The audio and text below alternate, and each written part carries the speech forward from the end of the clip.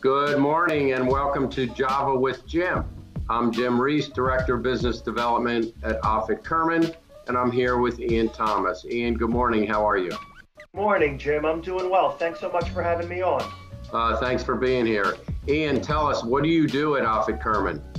Uh, I'm a commercial litigator, and so I litigate a variety of business disputes, including uh, disputes surrounding contracts, real estate, uh, consumer protection, um, and I also do some uh, defense of uh, government actions work. Excellent. Um, Ian, what's unique about you or your practice?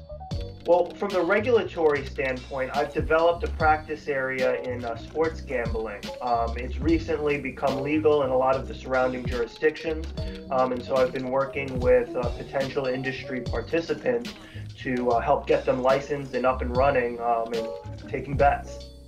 Excellent. So, uh, what's your what's the over under that Major League Baseball and or the NFL are actually going to play a portion of the season?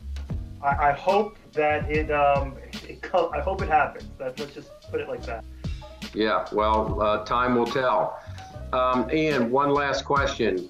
If your house was on fire and you could run in and rescue one material item, not a pet and not a person, what would that item be? So, um, as you can probably tell from my uh, sports gambling component of my practice, I'm a sports fan myself, and I actually am a former high school athlete.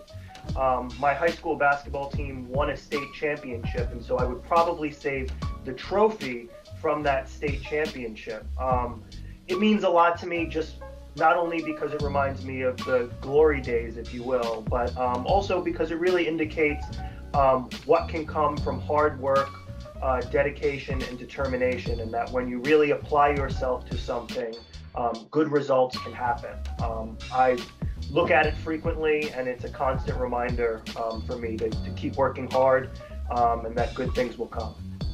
Sounds like a great story and a great reminder. Thank you for sharing that with us, and have a great rest of the week. Thanks a lot, Jim. You too.